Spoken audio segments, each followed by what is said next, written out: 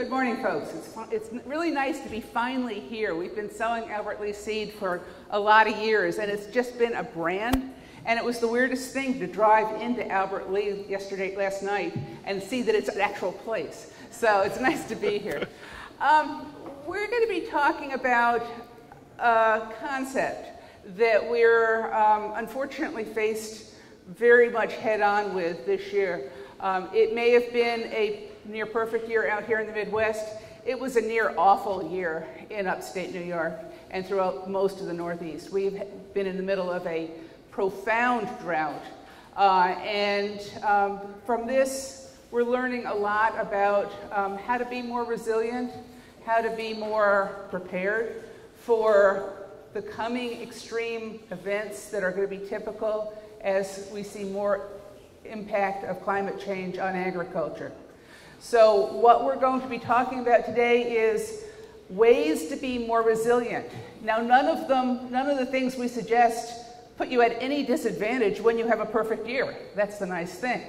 Um, a good year is just that much better.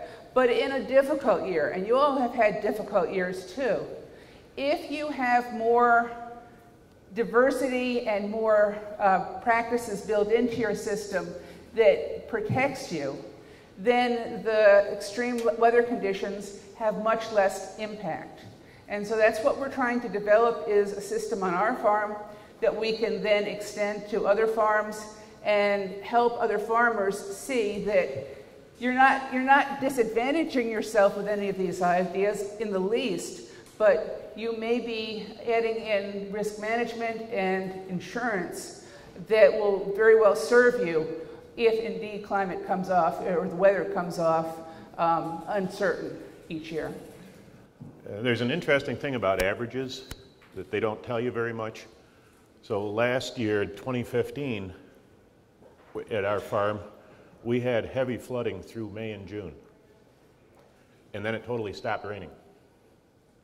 And it stopped raining until just a little while ago, for more than a year and a half, that we were way below normal rain. And when you get that kind of conditions, growing corn is rather tough. It doesn't like being flooded in May, and it certainly doesn't like not having any rain the rest of the summer.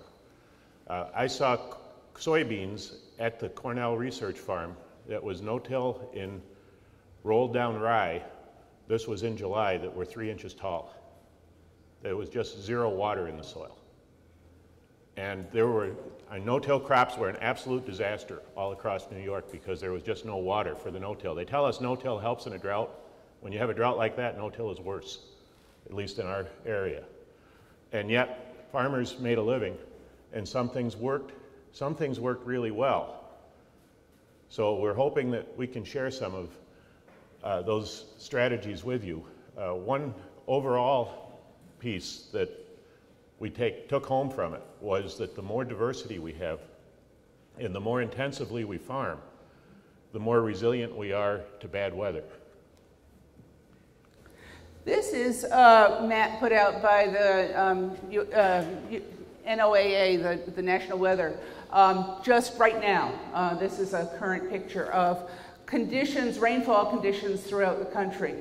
And one of the things that I see here is um, the new normal is not normal. Um, if you look at the white being what is considered normal for an area, um, we, very little of the United States is normal right now.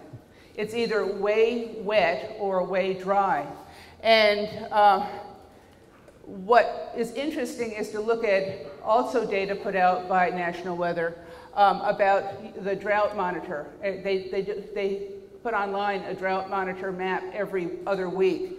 And that was, the one on the top was the drought uh, in 2015, in the middle of August of 2015. This was 2016. You all had the drought, the Midwest had the drought last year. If you look here, up here, that's us. We're in the Finger Lakes area of upstate New York. We're equidistant between Rochester, Syracuse, and Elmira um, about an uh, hour and a half south of Lake Ontario. And uh, we were, uh, all of Western New York was extremely dry. Um, California was even worse. And by August, you were seeing the effect of the drought in the southern states. This is currently what it looks like, and that's why North Carolina is burning in the mountains. It has gotten so dry in North Carolina, Tennessee, and Georgia and South Carolina that there are spontaneous wildfires throughout uh, that area, and air quality in North Carolina is now considered um, uh, inadequate in 13 mountain ca- uh, counties. So they better not breathe there. So they better not breathe there. But um, th- this, again, it just shows that we have got some real extreme conditions going on in a lot of parts in the country. We tend to only look out the window and see what's going on around us. But the fact is, is that uh, these extreme conditions are increasing, and they're going to increase uh, more rapidly in a lot of places.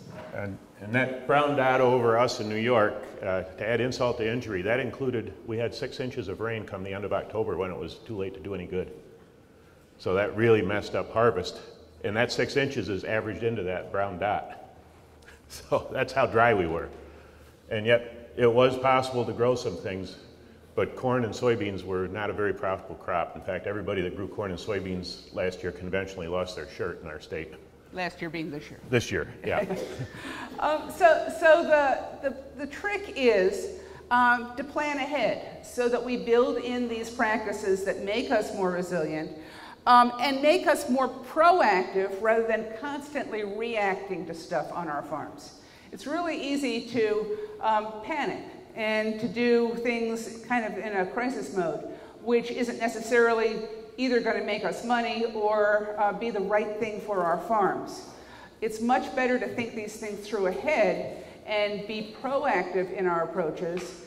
But if we have to be uh, be reactive to certain situ- situations, to do so in a way that we have planned them out ahead of time.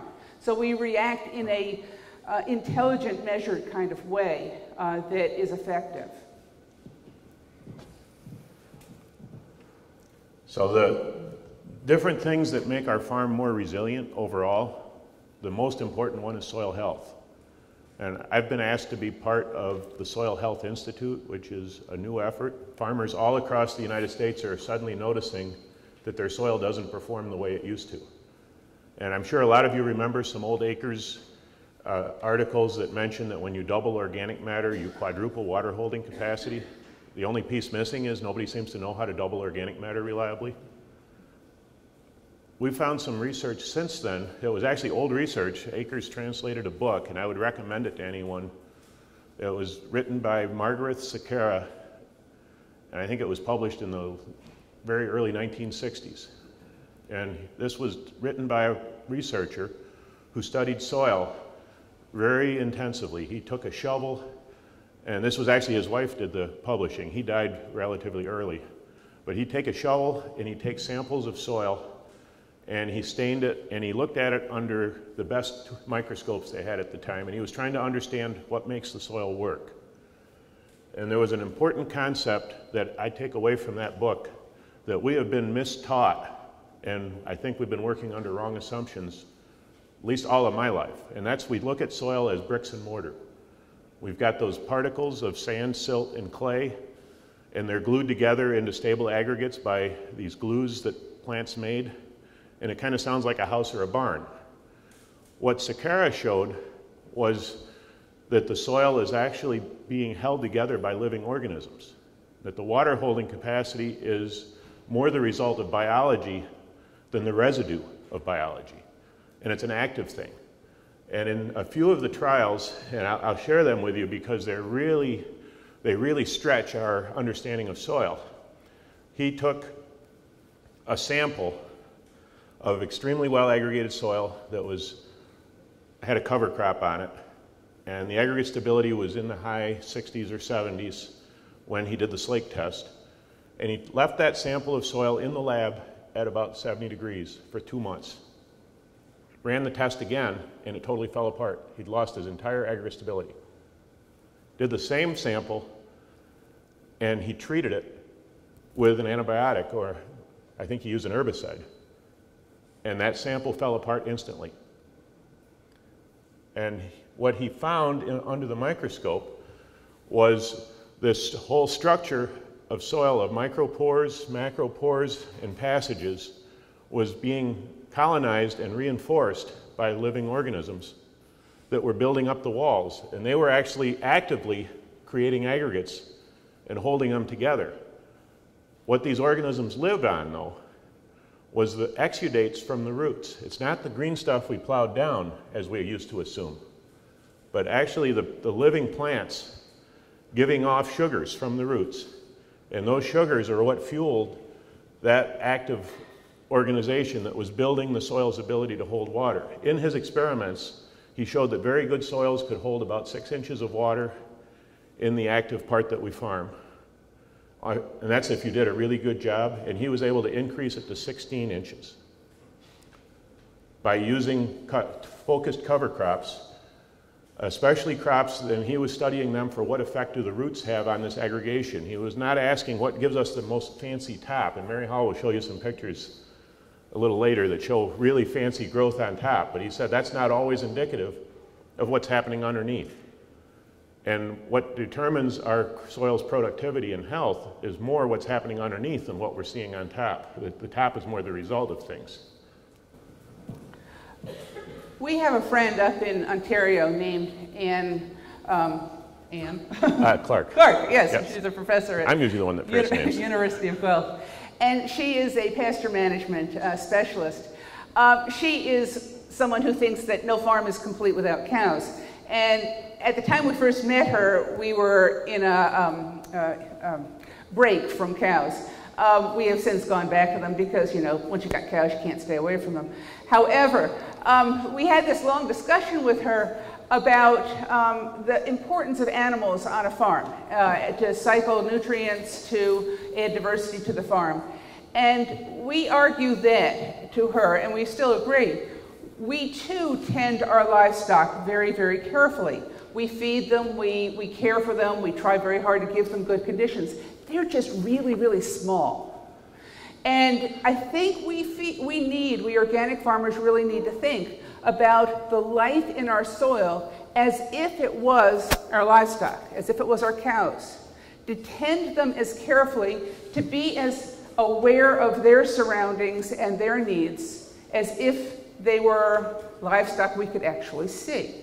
Because if we do that, then we realize soil health, and this is something you've probably seen before. Soil health is a combination, an intersection of the physical characteristics of soil, the chemical characteristics of soil, and the biological.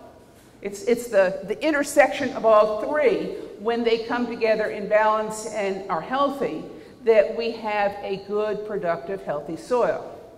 However, what we have learned is the greatest of those three is biological.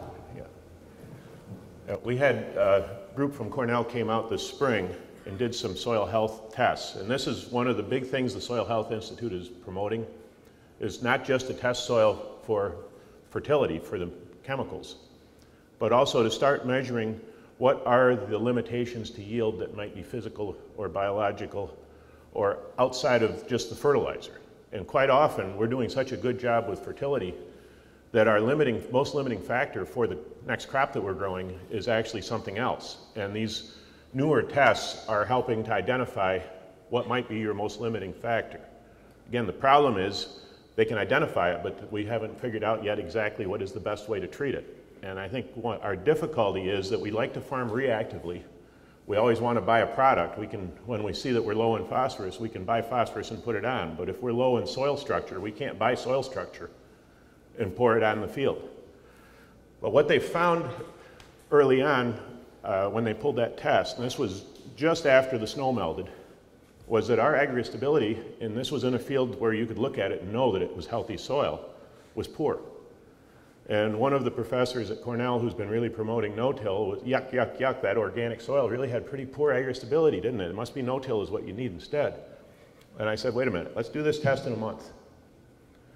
And they were very reluctant to do the test again. They said, we've already got the results, why would we look at it again? So they came back and did it a month later, and we had terrific aggregate stability. what had happened was the cover crop, the clover that was growing there, had not been feeding over the winter the construction crew. That's my theory. At least that's, and that fits what we saw. But a month after this cover crop was greening up, the aggregate stability had been restored. And the Sekera, and this is going back to uh, some of the guesses and observations that Sekera made, was that any time that the soil doesn't have something actively growing in it that is giving off this food for the microbes in the soil that build the soil structure, they're starving and they're not working. And if you go long enough, they die and you have to reestablish them. And that's a cycle that, especially in the Corn Belt, uh, we've got this land for 12 months of the year and have something there feeding the microbes for maybe four months of it. In fact, we spend a fair amount of time and money buying chemicals to make sure those late season weeds don't move in, which if you looked at some of the old writing, Dr. Albrecht wrote about the essential services that the weeds at the end of the season provided in the crop. So when we think about biological activity in a soil and then think about the whole process of an herbicide like uh, Roundup, which is a strong biocide that does kill off a great deal of the soil life, the short-sightedness of seeing this as a way of building soil health becomes apparent, but that's a different topic. Um, we're organic farmers. We don't talk about Roundup. Um, so to go on from this, though, thinking about soil physical, chemical, and biological, what we advise people when they're thinking about how to build a healthy soil is this. First, start thinking about the big stuff. You know, do you need to improve drainage? For in, in New, upstate New York, almost all the soil needs additional drainage. It's a very rare farm, farm that doesn't need additional tile drainage. But it's the big things. It's the big things that change the, the way water works, the way erosion and water infiltration works. Then looking at how to improve rapidly cycling biological material to improve the biology. And then looking at what do I buy. I sit at my desk at Lakeview um, and answer questions. And all spring, very often for new organic farmers, I get two questions. One is, what do I buy for soil fertility? And what do I buy for weed control? And those were two questions we asked when we first started out too. But it isn't, the answer isn't what we buy, it's what we do. Because you can buy all the, the especially the bugs in a jug kind of uh, fertility amendments and um, other perfectly good ones like lime and gypsum. But if you haven't taken care of the other things first, you're not going to get as much good out of your investment. And so, yes, sometimes it's really important to supplement nutrients in the soil, but often you can get away with using less or making, getting more good out of what you do invest in if you take care of the biology and the physical structure first. The, going back to this idea of keeping something living in the soil as much of the year as possible, uh, this gives us some hints as to what to do for soil health. So I believe anything that keeps the ground covered is going to have some benefit, even though I have to back up and admit this year where we had cover crops like the rolled rye growing ahead of soybeans, we had a, a disaster because the cover crop had used up all of the water. In fact, Cornell, in their organic trials, had one field, and the Cornell Research Farm had a four inch rain in August that we didn't get, but other than that, they had pretty similar weather to us. They had one field that made 180 bushel organic corn in the drought, and it was the one that had no cover crop and was just fertilized. and I, I would warn you, don't take that home as an indication of how we farm. This, uh, this is an example of always farming by last year's variables. You know, that, that might have been a good idea for that one year, but that question? When you bring the slide you had the term bio-till, what did you mean by that? Oh, the qu question was what, what did we mean by the term biotill? Okay, if you have, tillage is something that breaks the soil up and loosens it, makes it more hospitable for roots and makes it you know, better for plants to grow in. It also disturbs it in a way that uh, stimulates biological activity, lets air in, you know, and lets it breathe out the other materials. So we can do that with iron, with machinery, or we can have earthworms do it for us, or we can have other of the soil organisms do it. So to me, biotillage is the action of roots that break the soil up, the action of any organism that will open the soil, allow it to breathe, and uh, break it up uh, to stimulate biological activity. Think of the effect of a tillage radish. A, a, a, tillage radish planted in fairly loose soil. That is going to be biotilling because it's going to break the soil up, much as if you were plowing it. We like showing pictures of our neighbors' farms because ordinarily, our, we, we, you know, the, the, disasters they have are, are, a lot more attractive than the ones we have. However, at least um, they're more fun to think about. this was one of our disasters. Uh, back in the early 90s, um, we had a field that was uh, a hill, and it was farmed um, up and down rows, uh, north south, uh, and uh, we had a heavy rain, eight inches in one night and all of the dry, dry beans, all the red kidney bean plants ended up down here at the bottom of the hill and the water ended up going over the road and we had enormous erosion. Uh, there were two kids in a rowboat out in that field the next morning. This took a few days before she took the picture. This was a wake-up call, and this was just at the beginning of our organic uh, experience. We had not done a lot on the farm to improve the farm. We were still young and poor and did not have money for doing a lot of the soil improvement, the, the land improvement. But we worked with NRCS, got cost sharing money, turned all the fields 90 degrees so they were no longer uh, going up and down the hill, but instead on the contour. Um, turned it into strip, crop, strip, strips of crops so that we had alternating sod crops and row crops. Uh, and, and also put in diversion ditches and sod waterways and, and now the, field, the farm looks more like this. It's much more productive. We save our soil. Uh, we've been able to build organic matter. We have a lot less damage. Um, sometimes a major project like this is, is really what you need to make your farm more resilient. Now when we get heavy rain uh, events, and we did have one in 2014, we had no erosion at all. Well, we, we might have had a little soil loss, but very little. But uh, let's flip to the next picture. Uh, the picture on the left, that's a friend of mine who's taller than I am. And this was no-till soybeans. And to quote Ray Archuleta, some of you probably know who Ray is. Ray likes to say, we don't have a filtration problem, we have an infiltration problem in most, most of the country. And that is this, the rain hits the soil and instead of soaking in and being stored, it's running off and causing erosion. And where Tom is standing in that, I think that was about a 10 and a half foot gully, the soil was not absorbing the water. Now, our son Peter has a farm just about a mile from there that you couldn't see any soil loss. And it was in the same event. This, this was a violent storm. The village of Penn Yan, a building was taken down. Uh, there was uh, our feed truck was, our feed truck woke somebody up. It might have saved his life because the truck bumped into his upstairs bedroom window. It was floating. And it, it came down on top of somebody's SUV when the water went down. But more importantly, I, I took this picture um, from one of the, the overlooks and the day after the flood. And I had a friend who went out in a boat that day, and he said, you could go out in the lake, and there, there were these rivers running through the lake that were um, brown water. It was mud. It was, it was topsoil. It was all the soil that had washed down off the, the fields that were up on the, on the bluff. And so it takes, it takes centuries to build topsoil. In the course of one night, inches and inches and inches were lost from Yates County.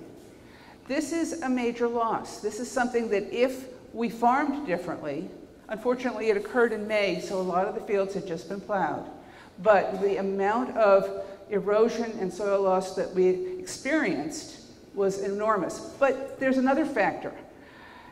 Downtown Penn Yan, all the basements, all the stores were filled with flood mud. And I don't know if you've ever had to clean up after flood mud, but it is, it is kind of like mucus. It's gross. But that, that flood mud came from somewheres. The mud that ended up in the basement of Jim's store came from Gary's field. And I think we as farmers have to take responsibility for the fact that if we don't farm in a way that prevents erosion and there is a flood event and there is damage to other people's property, you know, we could have done something to make it less. And if we, did, if we don't, then we're not being responsible farmers. Flip that ahead. Another topic. So the crop rotations give us the opportunity to change our system. You know, we pay taxes on our land 12 months out of the year, and a lot of us try to use it for three or four months of that time. How efficient is that, especially when land is expensive? And especially when we've realized that it's actually degrading while it's not working.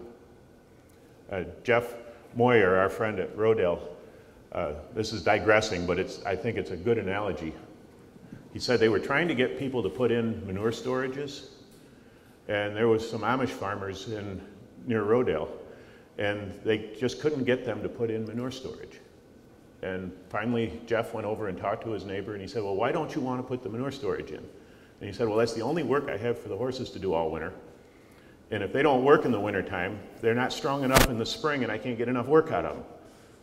And Jeff saw that as an analogy to his soil. If we don't have the soil working through the winter, it's out of shape and we can't bring it up to speed.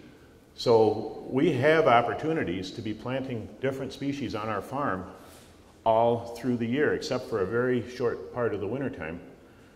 And we can build crop rotations and cropping systems that fill the holes when the soil would normally be bare. We also have more than just two crops that are profitable since we're organic farmers. The biggest gift that Mary Howell and I got when we first started farming organically was that we suddenly had profitable markets for almost anything we wanted to grow instead of only being able to grow the program crops that we could get subsidies on to, at a profit.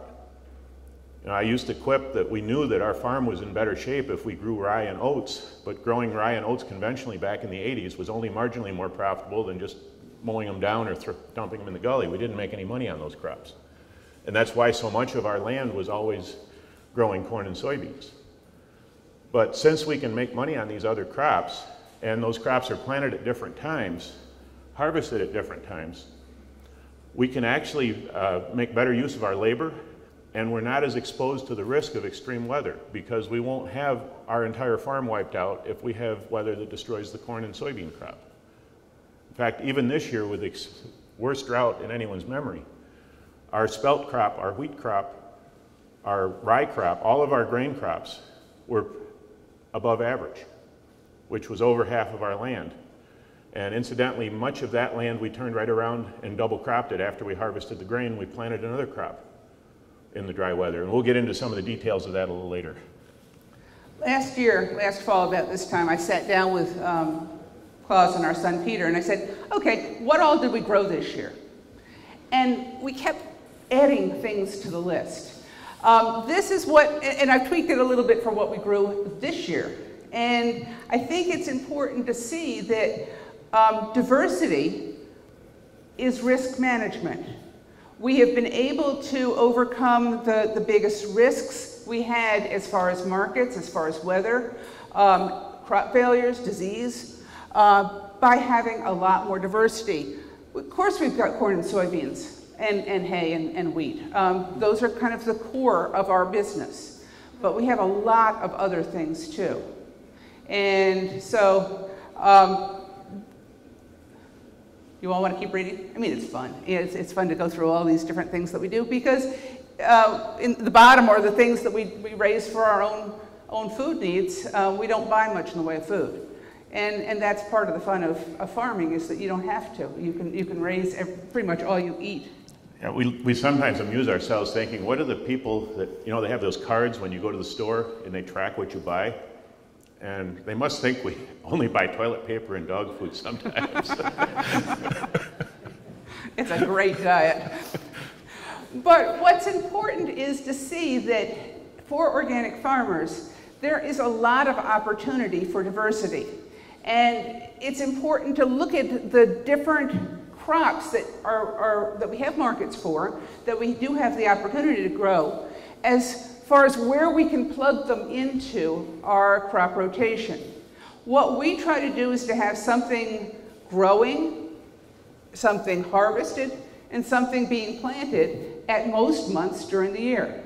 You know, there are a few months in upstate New York we're not harvesting, obviously, but at this point here in November, we have got over a third of our farm planted. Uh, over half. Over half this year? Okay. To wheat, rye, uh, barley, spelt. Uh, and all of those uh, grain crops are now going to be pretty much on autopilot until next August, next July and August when we harvest them. This spreads out our workload. We're not trying to row crop everything, all 1,500 acres in, in the spring. Um, it also spreads out the risk because the grain crops will be growing through, through a time when we generally have adequate moisture. But it does give us a lot of ideas of, well, if we have a month window when we don't have anything growing, between the time we harvest the oats and the time we plant the, uh, the fall grain, what can we put in there? The repertoire is large. We can stick a, a crop of um, buckwheat in. We could stick a, a, crop of BMR sorghum Sudan in for a short period of time. Looking at our whole farm, whole cropping system as, as sort of a, a, a picture, a, a painting, where we can fill in different colors here and there throughout the year, has given us a great deal of opportunity to diversify our crops, but also diversify our markets. So this spring, between the 26th of May and the 26th of July, we had less than an inch of rain total in the 60 days, and we had temperatures in the 90s most days. You can guess we had some crops that failed. And we took those fields, we had some soybeans, and they were, a, they were actually a very difficult to grow type of soybean. They were high in sugar, and something that's little known, unless you've grown the high sugar sweet corns, is that when it's very dry and you've got a high sugar plant, penicillium will destroy the seed. So we actually had soybeans that were destroyed in this dry ground by penicillium. And we came back immediately a no-tilled BMR sorghum Sudan grass because we knew there was going to be a forage crisis. The hay crops, and with that little rain, the hay crops don't yield. With that little rain, corn silage doesn't yield. You know, there were, we knew that cow, the pastures had already dried up and people were feeding winter feed. So all of our grain crops, as they were harvested, we followed them, uh, unless they had clover that was strong enough in them. We followed them immediately with uh, BMR sorghum Sudan grass. And in fact, some of those fields of BMR sorghum Sudan that we either double cropped or put in after a failed crop yielded higher than the corn silage that most people chopped in our neighborhood did this fall. And it was actually better quality feed. This is something uh, think Albert Lea is probably the only place that has some of these seeds this year. But the BMR6 gene makes the lignin in the fiber much more digestible than it is in the, in the normal version of that crop. And if you get a forage analysis on BMR sorghum Sudan, it's going to be wrong. Uh, there's a consultant in New York, Tom Kilcer, and he's watched animal performance feeding uh, different crops. And he said if you've got BMR sorghum Sudan that tests 60 and you've got corn silage that tests 72, you're going to get more milk out of the BMR sorghum Sudan that has a 60 NEL because the, the analysis is wrong. They, don't, they haven't got the calibration down to get the analysis right on that. And they just haven't worked long enough yet to give you an accurate test. But we put up, uh, I think it was 900 feet of ag bag this year that was full of BMR sorghum Sudan. Some of it was just BMR Sudan grass. When it got later, we planted some uh, BMR pearl millet. Now, these were all crops that can grow with so much less water, and they come up with a lot less rain. This is some pure science that you may remember from high school biology, or you may not. Um, some, some of you may have run into the difference between C, C3 plants and C4 plants. Um, and it's, it's, it's, a, it's the, the, biology behind it, it has to do with the way photosynthesis works. Photosynthesis is, it, the older version of photosynthesis is the C3 type. And it turns carbon dioxide, or it, It turns carbon dioxide and, and, and sunlight into uh, sugars and oxygen, but it does so in a fairly um, wasteful way. Uh, it, it, needs a lot of water in order to do that. Um, which, if, if the plants are growing in a uh, plenty, plenty of water, if it's, if it's not in limited, in limited form, and if it's not excessively hot, C3 uh, type of photosynthesis is very productive. But when you get into an arid condition or into midsummer in upstate New York, where the temperature is high and the water is increasingly limited, the C3 plants, the things like beans, rice, wheat, um, rye, barley, cotton, potatoes, oats, don't do particularly well. They tend to go fairly dormant if they haven't finished up their cycle. C4 plants are a newer uh, form of photosynthesis, and they need a lot less water to produce the same amount of sugar. And so we're looking at these C4 plants as being a new opportunity for, for where we are to fill in that gap during the summer. And this is where we see the sorghum, millet, sorghum Sudan, these types of plants do very well when it is very hot and when it is dry. Just knowing the biology helps us to plan our crop rotations and make better use of the conditions. Corn is a C4 crop, but it's not one that makes as efficient use as some of the other ones of, of water. But the other thing, if you noticed on there, it talked about uh, the C3 plants need about 200 parts per million of carbon dioxide. When I was in high school, when I was in elementary school, our atmosphere was probably about 270 parts per million carbon dioxide. Today it's well above 400 parts per million, which further gives the C4 plants an advantage when you're dry over the C3s. When we were first talking to Ilya about putting together this talk, he said, why don't you talk about specialty grains? And you'll know why in just a moment. Um, we do grow a lot of specialty crops that are for unique markets. Um, we're growing Frederick, which is a soft white winter wheat for an artisan um, milling um, flour market that the big, um, the big grocery store chain called Wegmans in the Northeast is making some of a, a line of artisan breads and you, trying to use local grains, and they found that the Frederick wheat just works really good in a lot of their breads. So we're growing those. We're growing sunflowers for oil, for little, little bottles of artisan oil that were featured last week in the New York Times as being the thing to have on your Thanksgiving table this year. Um, we're growing cabbage for sauerkraut. Well, this has been a bust this year. Cabbage needs water and it also likes cooler temperatures. So it did not grow very well, but it did adequately. But the six inches of rain came in time to make a real mess when we tried to harvest it. And, and make the, the heads split. And then we're also doing some of the heritage older uh, type wheats, einkorn and emmer. And um, Ilya happened to be there on, uh, in, in August for uh, the kosher spelt, kosher einkorn harvest. Now talk about specialty crops. You know, we had all these Hasidic rabbis there, dueling rabbis. Uh, one group from Brooklyn and one group from Toronto came down to supervise the harvest, and they don't necessarily agree on a lot of things, nor are they should they be in the same field at the same time. Uh, we hadn't had rain for months, and wouldn't you know, it rained that day. Uh, just about a hundredth of an inch. yeah.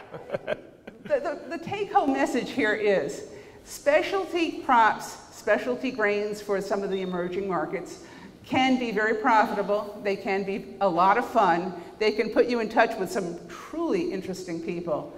But each level of specialtiness has its own quality specs, has its own requirements, has, may need its own equipment. Each time you make a little bit more on a premium specialty market, it's going to require more of you.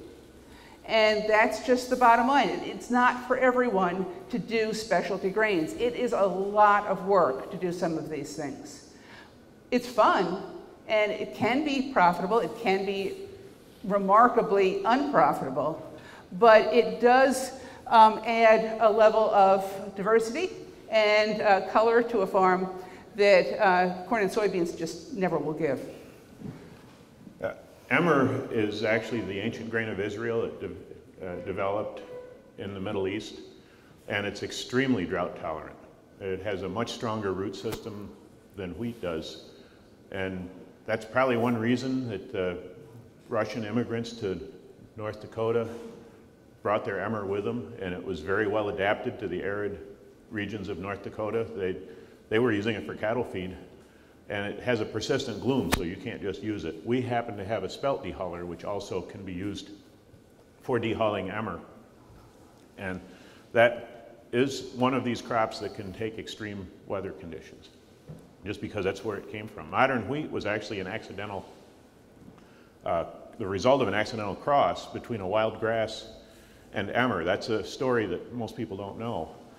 Uh, emmer is a tetraploid. It has um, four of each chromosome. And when it crossed accidentally with this wild grass, it became an, what they call an autohexaploid. It actually has six for each, uh, six copies of each chromosome, but from different sources. And modern wheat has a relatively weak root system because it's been selected for very high fertility, high yield conditions, better soils, and it's not nearly as hardy or as resilient as the mother uh, grain that was grown there. But now we're finding that there's demand for it because a lot of the Hasidic Jewish people have an intolerance to modern wheat. They get sick.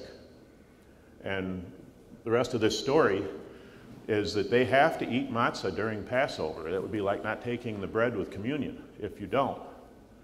And uh, they have this unpleasant choice between having severe gastric distress and diarrhea or not following the religious requirement. And at one point, about 30, 40 years ago, a Jewish grandmother said, Well, couldn't we use some of the old grains? And they found that the people could eat the that had this uh, digestive problem could go back and eat spelt or emmer for the Passover, and, not, and everything was fine. And the rabbis agreed that that would satisfy the requirement. But that's just an interesting story behind a niche for something that uh, had been used for cattle feed for a long time.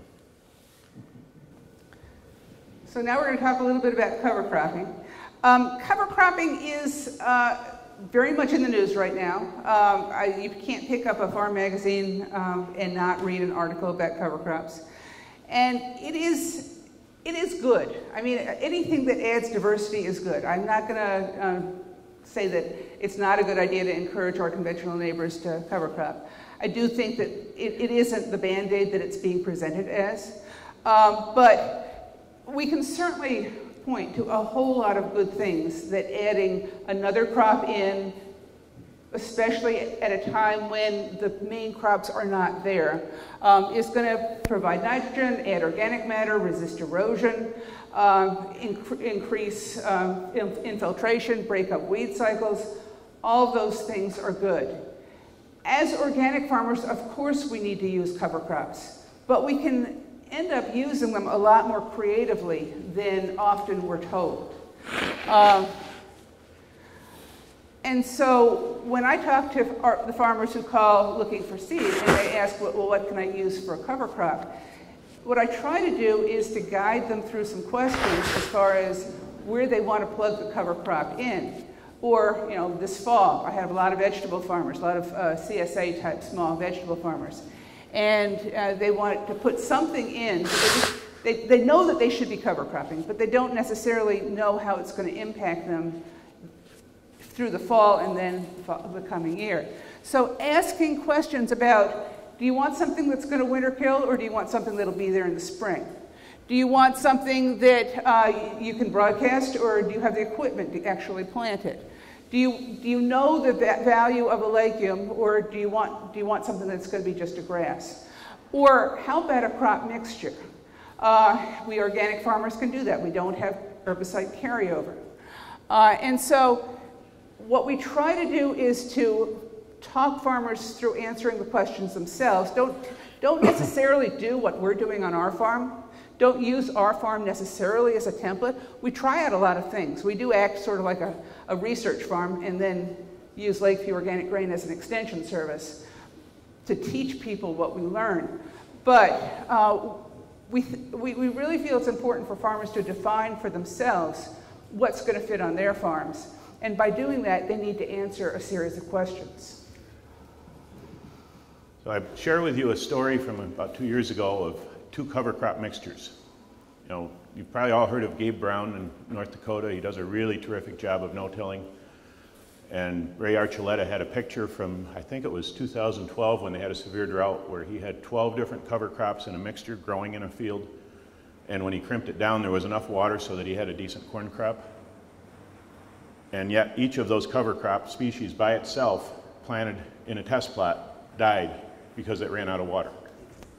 Now the backstory on that is that researchers have since figured out that the mycorrhizae in the fungal network around those roots was actually taking the water from the deep-rooted plants and sharing it with the shallow-rooted plants, and this water was going round and round from root to root as those different, those 12 different species cooperated and enhanced each other.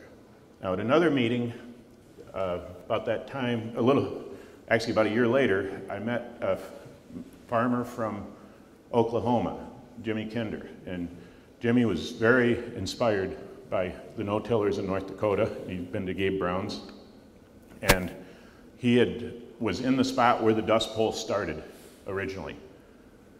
And he showed us some pictures that uh, at that time he'd been in a five-year drought, and he showed us a picture of round bales with soil drifts around them. And he said, this is in the middle of a no-till field, and we've got soil drifting, and we've got to do better than that.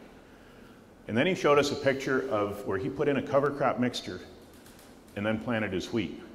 And he said, I believe this is the right thing to do, but I'd like someone to help me understand what went wrong. Where I planted this wheat after this cover crop mixture, I only had a quarter of the yield that I did where I planted the wheat the way I normally do. And I stood there like an idiot, didn't see what I was looking at. But uh, Jill Clapperton was in the group. And she suddenly popped up her hand and she said, You know, you've got seven different species mixed here. They all have the same type of root that kind of opened, a, that was an aha moment. That it's not just any mixture, not just throwing lots more different things together, but it has to be things that help each other, things that belong together. And Jimmy had the right idea, and he had put all these tap-rooted crops together in the cover crop mix. But there weren't the fibrous rooted plants, there weren't the shallow rooted plants. And for some reason, those species that he had selected were not complementary in the cover crop mix and therefore they didn't, they probably helped his soil health, but they certainly didn't help the wheat, and they didn't do what they could have, where the species that Gabe had put together must have been the right complement to make the best use of the resources, and they created an environment that favored the crop that he planted into them, which incidentally then he ran his cattle on it and harvested the cover crops as feed. That's one of the things we have learned about crop rotation. Uh, it is important to rotate our crops, but it's also important to rotate our pests. And uh, we talk about breaking up pest cycles. We can see that above ground in, in breaking up weed cycles, but we don't necessarily think about underground. Um, we ran into this after we'd been very earnest, diligent organic farmers for about 10 years, planting lots of medium red clover as a, uh, as a frost seeding into our small grains. Um, nothing wrong with it. It's a good idea. It also, there's nothing against organic standards about this. However, when you plant a lot of red clover and then soybeans and then perhaps a field of alfalfa, they're all legumes. And yes, you're rotating crops, but you're not rotating pests. You're not especially rotating uh, root pests. And so we saw that as we put clover in uh, in subsequent years, it grew less and less and less. And we couldn't quite figure out why uh, what looked like the most amazing nitrogen producer in the world uh, was starting to, to do poorly on our earnest organic farm. And we went to Cornell and talked to Dr. George Abawi, who's a plant pathologist there, and he said, think about ways to break up that, that cycle of having legumes so often. Try buckwheat. Try mustard. These are not related to legumes. They're, they're good cover crops. They do other things. They have other factors. They, they, they have other benefits. Uh, and so we have tried to add in additional cover crops, but make sure that we have sufficient diversity to break up the pest cycles. Buckwheat is great. Buckwheat is a wonderful crop that not only suppresses weed growth, It also releases bicarbonate ions that break down phosphorus in the soil, so the, the, the uh, inorganic phosphorus is turned into a form that plants can actually use. Uh, and it also uh, has a, a, negative impact on soil, soil microbes. The, the, uh, chitinase. It, it, it, it, releases chitinase that breaks down the cell walls of fungi that can be um, pathogenic. This mustard I saw growing um, a couple weeks ago on a conventional farm. We usually put mustard in as a frost seeding into corn stubble and then let it grow through April and May and then plow it down in May before we plant uh, the, the next crop. And it, it does well, but it doesn't do like that. I drove by that field and I thought, wow, that's mustard. Uh, and the fact is that they put it in uh, probably after the wheat came off. Um, it's a conventional field, so probably it has a lot of free nitrogen, a lot of free nutrients there. And that mustard is, is being a fantastic fall cover crop.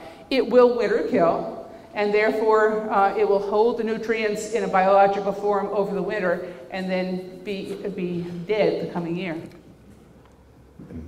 I used to, when I was younger, I had some neighbors that would tell me about these Italian immigrants that used to come up and work in the fields. And in fact, one of, one of them became the mayor of Syracuse. At least his parents worked in the field, but he became the mayor of a major city later. But what he said was impressed with was they'd come to the work with only a piece of bread in the lunchbox, and then they would go pick the mustard, and they would make mustard green sandwiches.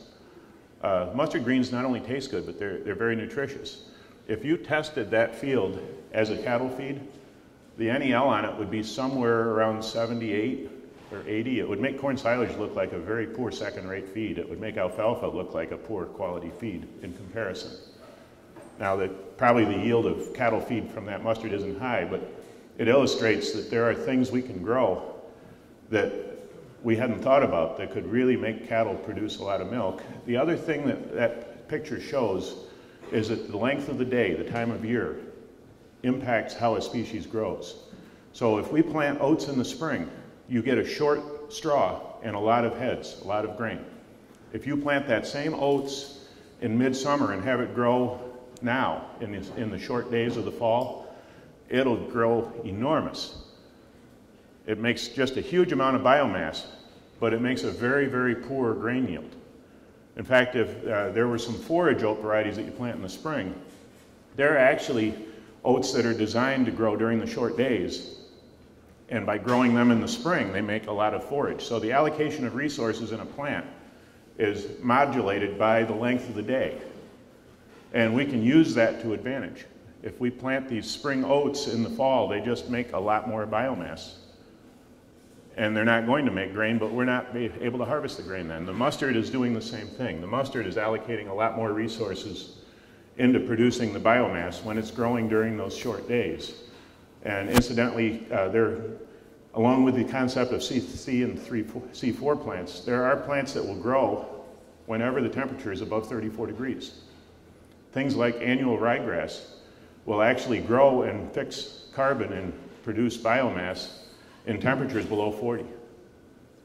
And that's another way that we can use more of the season because the C4 crops, most of them, when it's below 65 degrees Fahrenheit soil temperature, they're not growing. It's too cold. Where annual ryegrass is happiest below that temperature. But the whole, yes, to your question. He's asking whether we're concerned about volunteer mustard seed. That is a question that our neighbors ask us every year. The answer is no. uh, the variety we're using, we actually get from Albert Lea, and it's a culinary variety. It doesn't have hard seed. The reason mustard is such a weed is that it produces hard seed that can lay in the ground until the conditions are right for it to grow, and it can stay there for years. But this cultivated mustard doesn't have hard seed. It, uh, the seeds all grow right away. But beyond that, I, I told, about, told this story in Aberdeen uh, South Dakota once, and a farmer came up afterwards and he said, You know, you just answered a question. And I, it, I went into more detail. But he said, You know, I had a field that was so heavy mustard, and it kept getting worse every year. And finally, the field, I planted it to oats, and it came up all mustard, and I plowed it under, and I never saw mustard there again. Well, the mustard was growing in those fields because the conditions favored mustard over other species. And what I've observed is that you can watch what weeds grow and what your field is doing as an indication of what the soil condition is and which species would grow best. So what he did when he plowed the mustard under, the mustard actually changed the soil condition and corrected what was making the mustard want to grow. When, before we started using mustard as a cover crop, we had an increasing amount of mustard growing as a weed in our corn. But when we started growing it intentionally, we stopped having it become a weed. So whatever biological function that weed was serving in the, in the ecosystem, we were just deciding when we wanted it and putting it in a form that wasn't going to get away from us. The next way to make our farms more resilient is not to be an island all to ourselves. And we have been really experimenting with this um, in, a, in a pretty intensive way. Um, we want to grow more uh, cover crops. We want to grow more forages. We want to grow more uh, crops that don't necessarily have a grain market for them. But we also have to have a way of using them. And we, we are surrounded by an old order Mennonite community. Uh, many of the farms are fairly small acreage, and there are a lot of young people because we're, we're in the, the second to third generation of population growth among this, these people. And so there are a lot of young farmers starting out without a great deal of financial resources and without really large enough acreages to feed their cows. Um, we are working with three satellite farms, three neighboring farms right now, um, who are dairy farmers. They um, are doing a fine job with their cows, but they need a little extra help uh, to produce more feed for their cows. We wanted to be able to produce more forages. What a perfect situation. We can look beyond the boundaries of our farm and increase the opportunity to rotate by using other people's farms um, in, in conjunction with ours. And it's a really a win-win situation. Uh, there were two problems when we were looking at selling forages to people who needed more feed. And one of them I'll illustrate with a saying that I heard in Vermont, that you could buy the neighbor's farm one bale at a time. That could be either hay or straw, because the carbon and the loss of minerals from that farm were a major loss to your system.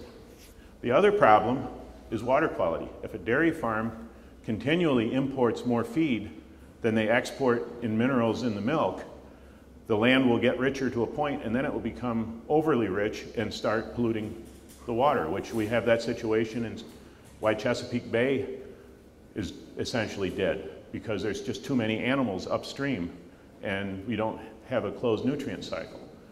So we had a neighbor in, this was in 2012, it was a severe drought. He had just gone through organic transition and he had back-to-back severe droughts. That's his farm. On his farm during transition, which that's a, that's a recipe for a disaster.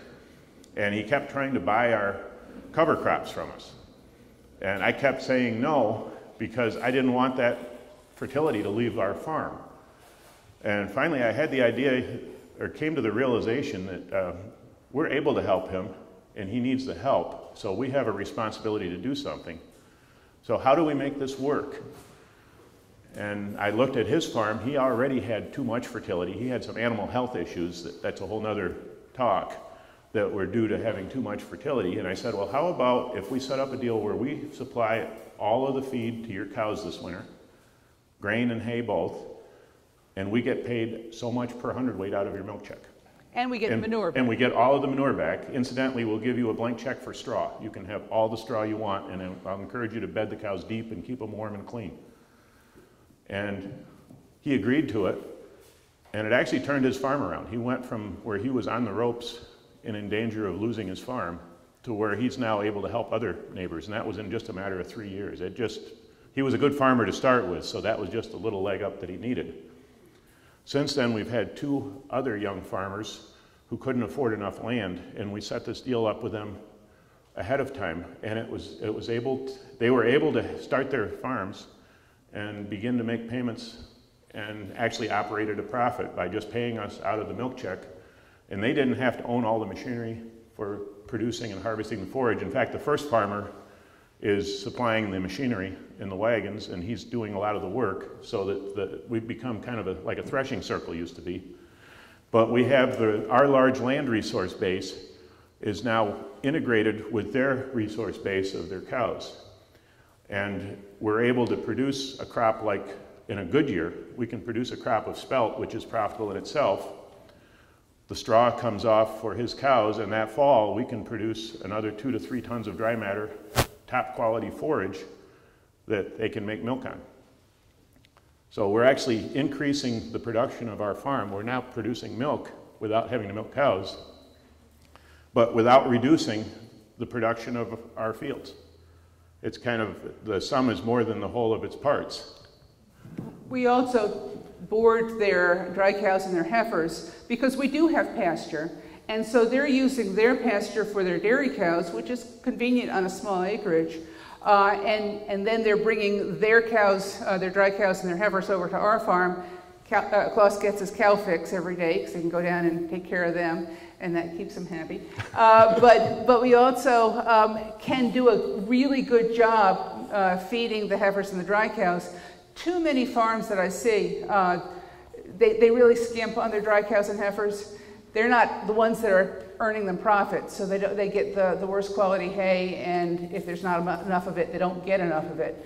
Uh, this way, we know that Paul, Jim, and uh, Eric get uh, really good quality feed for their heifers and dry cows so that when they go and, and start milking, they, they hit the ground running.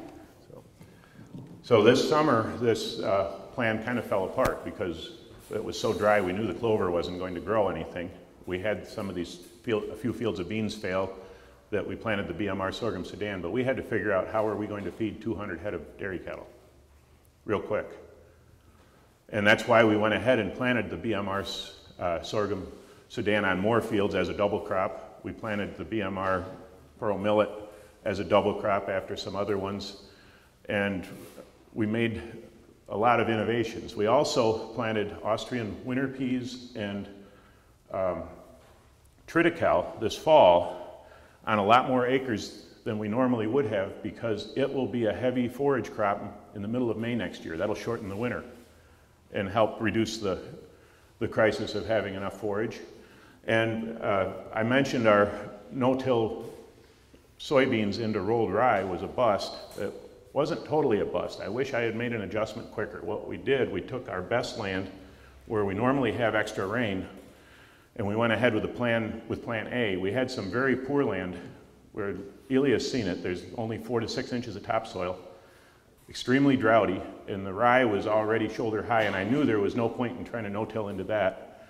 We took that as forage, and that rye actually tested uh, about 70 NEL, had about 11% protein, and we pulled, I think it was about 10 or 11 tons per acre of baleage off that cover crop. And we planted, came right back and planted BMR sorghum Sudan on it. We ended up harvesting about 23, 24 ton per acre of forage from that field. That was our worst, droughtiest land in, a, in the worst drought. Uh, there wasn't a cornfield in our county that made more than 12 ton of silage this, fall, this past fall. So that actually our worst field turned out to be our best field by doing that.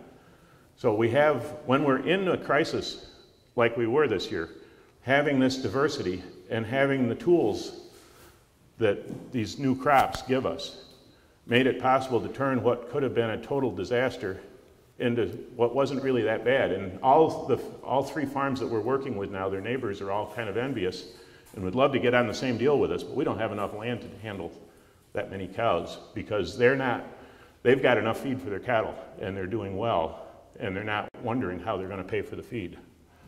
We're running out of time. So we're going to go a little bit faster now through some of these slides.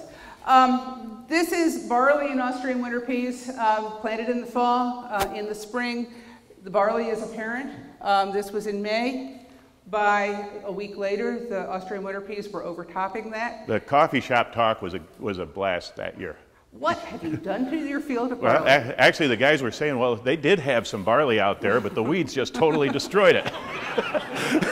now, now, a neat thing about Austrian winter peas, they make excellent quality dairy feed. We were actually growing these as a seed crop that we were going to split and, and sell, to, especially the Austrian winter peas, because we sell a lot of them. What you're looking at was over seven feet tall. But uh, the nice thing about some of these cover crops is that you can have your cover crop and eat it too. There is nothing better than a spring salad of Austrian winter pea shoots.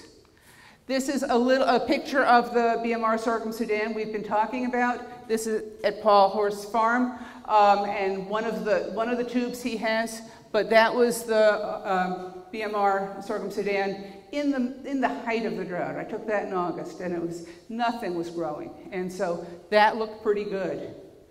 Um, I have said that I've never seen BMR sorghum Sudan wilt, but where there was only four inches of topsoil this summer, it did wilt.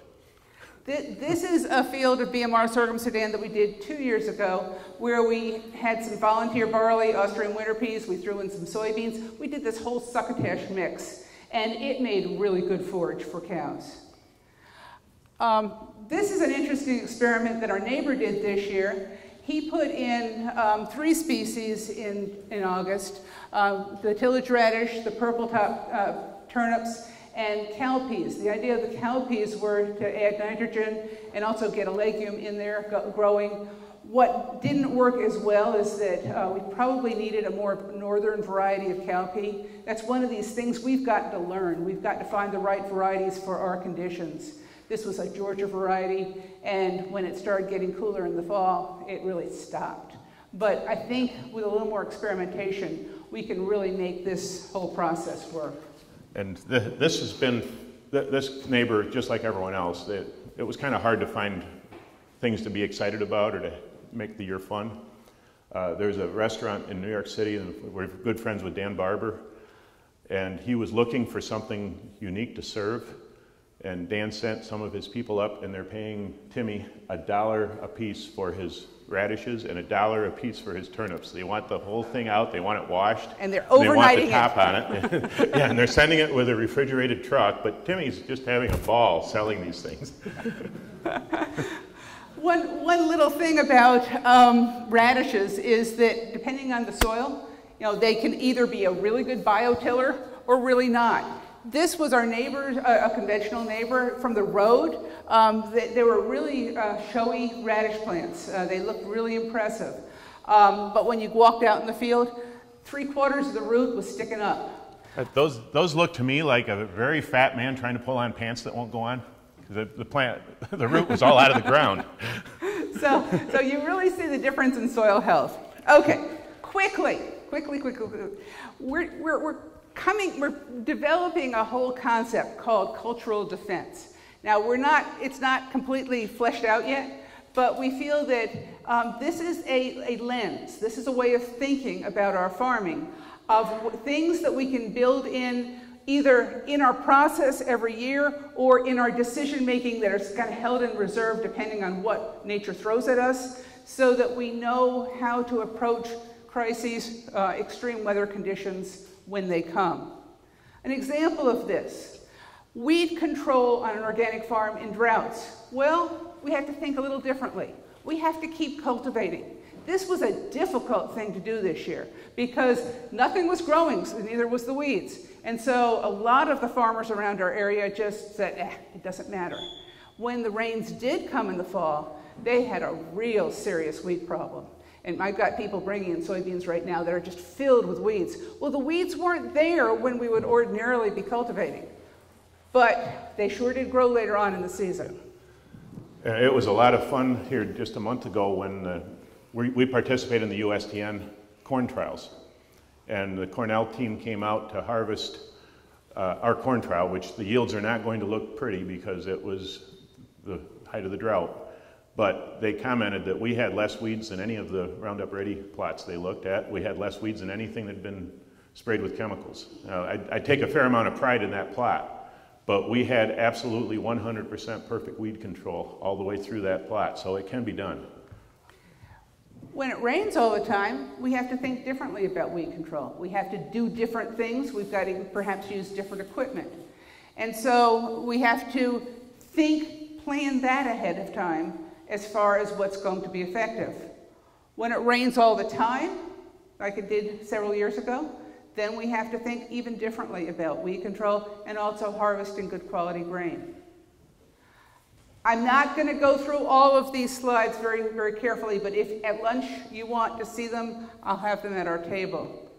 Um, harvest is really, really important when we're working in a defensive mode. Um, there are so many things that need to be thought about at harvest, but they're the big three. Have a good moisture tester that you know is calibrated and test the moisture. Prepare your storage wherever you're going to put it and make sure it's clean and make sure it's ready when you harvest. And be prepared to clean the grain afterwards if you need, once you get it harvested. Um, being both a grain grower and a grain buyer, we tend to see things very differently. Um, and we see an awful lot of people's mistakes that they think that somehow we're going to take care of for them. Um, there are a lot of things that you need to do if you are going to build good relationships with buyers, especially for specialty grains, that may involve a lot of, of your work and being prepared at harvest. And this is a real good example of being creative. Oh, I'll, yeah. I'll, I'll, turn that over and I'll start playing. Hey, when that six inches of rain came, uh, this really added insult to injury. It didn't just mess up our cabbage fields, we had planted 168 acres of dry beans, and I don't know how many of you have grown kidney beans, but they have to be pulled. They can't be clipped with a regular combine. In fact, if you use a rotary, it'll make them unsellable. So uh, we could not get across the fields. The rain came a day after we started pulling beans. And this crop, dry beans are very tolerant of dry weather. They're actually a really good crop. We had about $200,000 out in the field, and we couldn't begin to harvest. And what we did to address that problem, uh, other than take some Alka-Seltzer, because it really does make you sick, we, uh, we tried something off the wall. We actually had an employee who suggested it. He had worked for uh, a company that picked snap beans, and he said, I think a snap bean picker would work to pick the pods off those dry beans.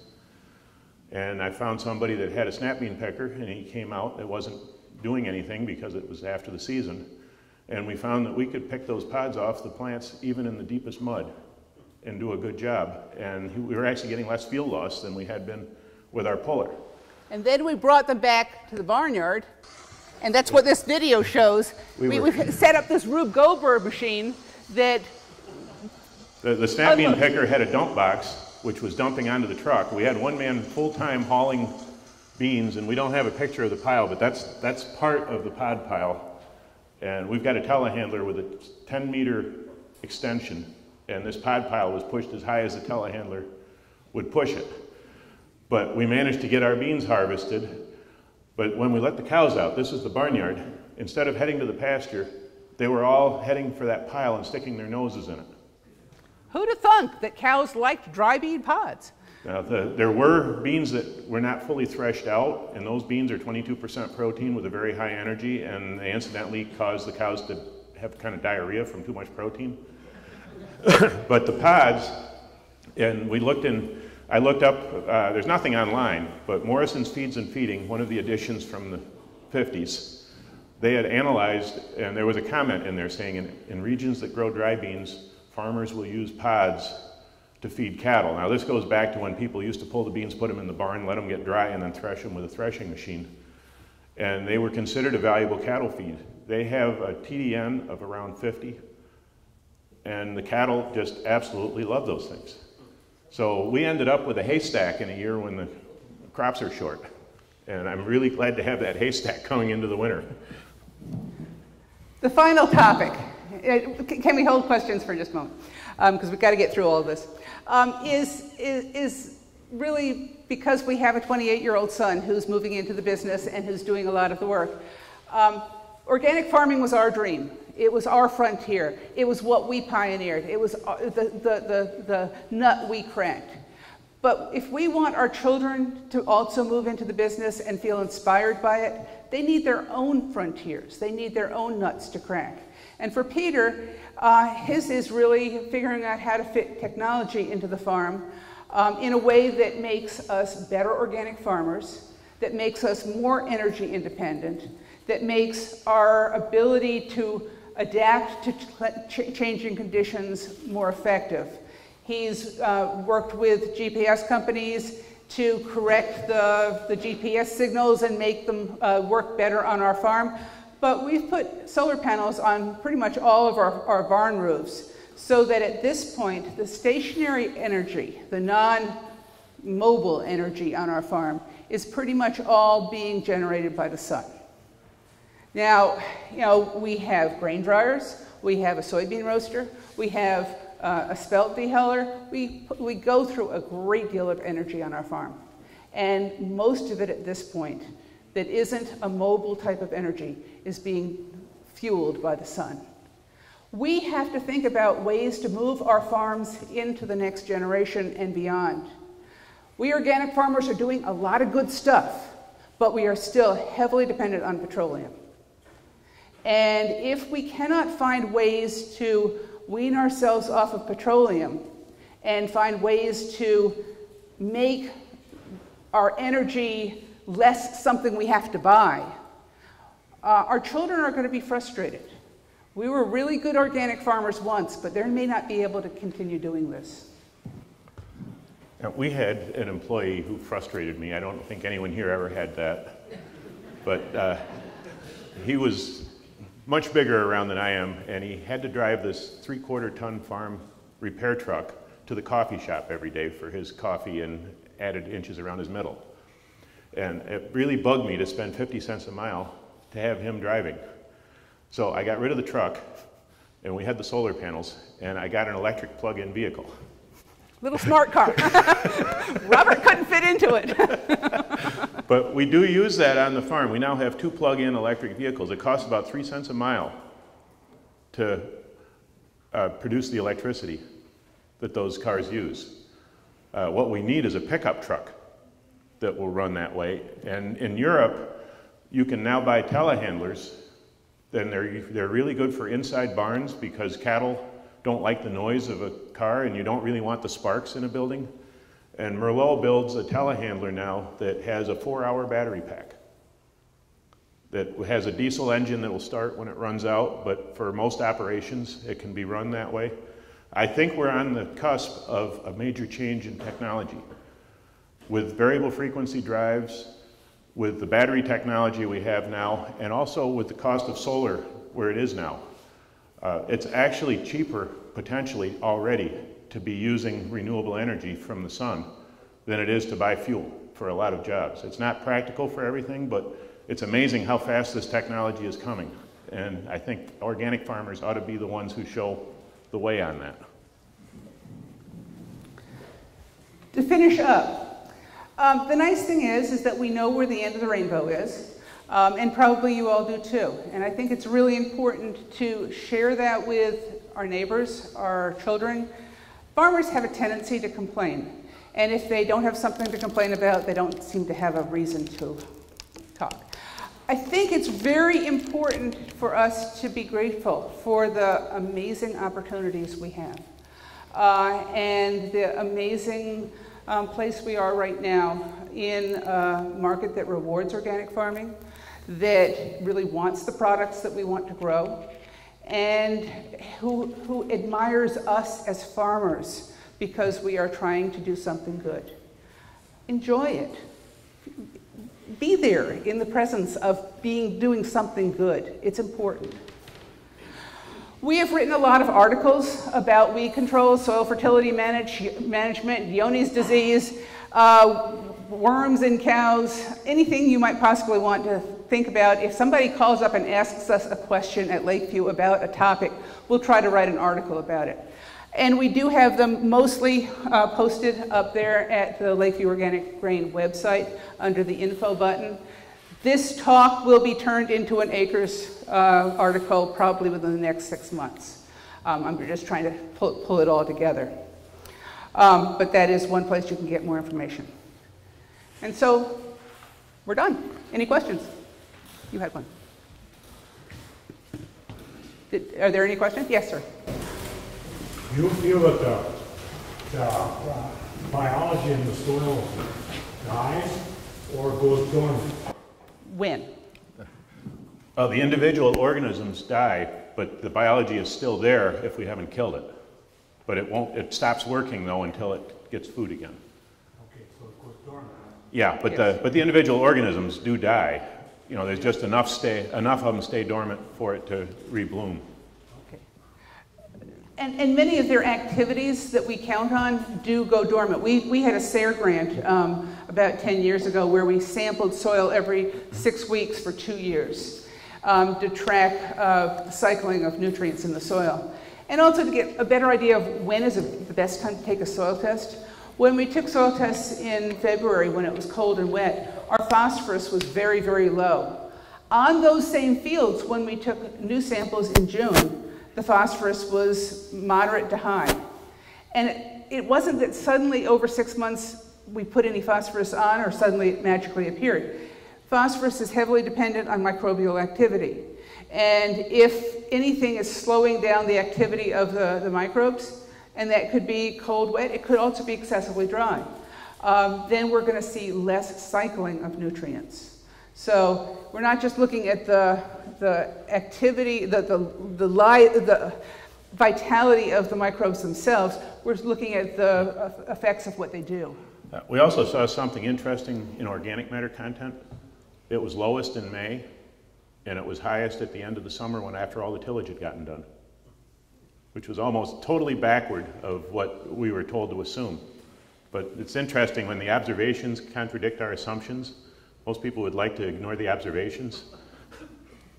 We're, we're cutting into Dr. Sylvia's time. Um, and and, There was a and we don't there. want to do that. But one more question. When when do you recommend the best time of year to take soil samples? According to our um, SARE grant, during the active growing season, June and July, is, you know, when things are actively growing, is probably the most reflective of what's out there. You know, the biology is kind of, a, you know, if you have bad weather in the spring, it's always going to slow it down, but I found that that was probably the most stable time. Okay. Go ahead um, and take a couple more questions. Okay. push one back. Okay, yes, sir. You were talking about a lot of the benefit was in the roots, for example, the soil health, and you're growing this clover. Do you have a recommend, for a long time I plowed under, the taller it was, the the red clover, the better I thought it was. Where is the point where you think it's good, and then you chisel plow or moldboard? Uh, we, we use both, but I think it's more how you use the tool and how the tool is adjusted. If we chisel plow, we have a huge increase in weeds. Because if you, sorry, this is a long answer, but it's, a, it's an important detail. Uh, at the top of the soil, when the sun hits the ground, the weed seeds that are in that area are coming out of dormancy. It's kind of a signal the sun sends those weed seeds saying the conditions are right, and it takes almost nothing except a little disturbance to make them come up. The seeds that are deeper are in a deep dormancy. That's how those seeds survive in the soil for so many years. So when we chisel plow, we sometimes have the weeds come up ahead of the crop. And there are times when that's really desirable, like in the fall, you want those weeds to, you want to sucker them into coming up and get rid of them. So we moldboard plow, and we do some, we do no-till, we do minimum till, it all depends on the situation. But when we moldboard plow, we plow as shallow as we possibly can, and we use the European moldboard, which inverts the soil only 90 degrees at the bottom. It's a variable geometry, so that we're doing, it's more of a vertical tillage that the plow does. The top is fully inverted, so you get the weed control benefit, but the organic matter is not flipped to the bottom. It's kept kind of mixed more in a vertical orientation, and it, that makes a tremendous difference. You can see the difference walking in the field. When we flip that organic matter down, especially when we plow deep, it's in an anaerobic zone where it will make alcohol, it makes carbon dioxide, but it really doesn't make humus, and it does, it's not in the zone that feeds the crop, so it doesn't do us near as much good. So, and that, that's the challenge with organic matter and tillage. Yes, sir. I've been sending my uh, soil samples to Midwest Labs for their, their uh, soil health test, and they come back with results kind of all over the map. And uh, we're in transition, so um, it seemed like a lot of things were going the wrong direction. And um, and then like now in the, on the third test, the soil health comes up. Uh, is there a place that you would recommend to send samples for soil health test? The question is, where would we recommend sending soil samples to assess soil health? And this is, this is relatively a new field. It's, labs forever have, have analyzed NPK, um, but, that, but that is increasingly being shown to be totally inadequate to show whether a, a soil is in good shape. Um, there are labs that are developing soil health models um, to assess biological activity and uh, physical activity, physical characteristics also. Cornell has a, a soil health test that uh, is being used fairly widely. Um, uh, USDA, I think, is going to adapt many of the soil health tests that, the, that Cornell has developed. But the important thing is calibrating these tests.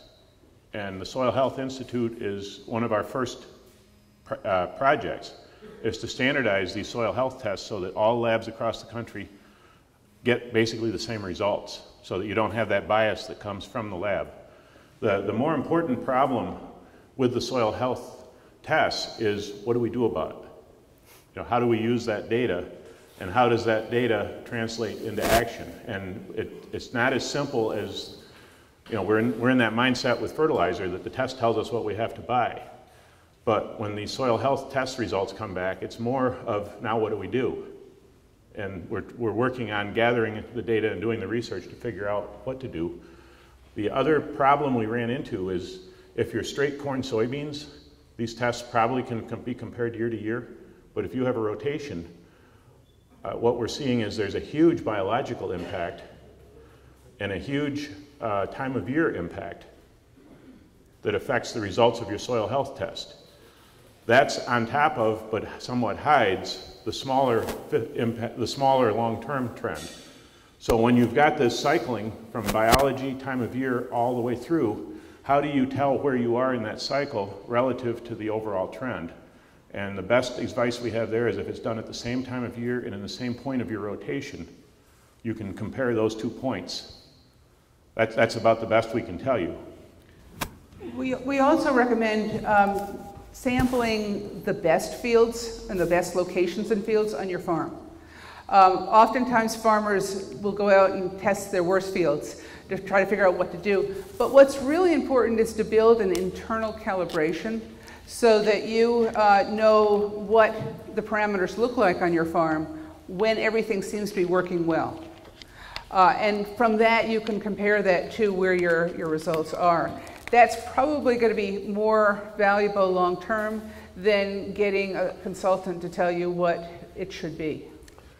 Uh, the other thing with the soil health tests is it's not one test. You know, it's a whole battery of different tests, so that some of them we can tell you how to interpret the results very easily and very precisely. For instance, there is a disease suppressiveness index test for dry beans. So that if you are growing any kind of dry beans, this test will tell you whether you, what your level of disease pressure for root rot is.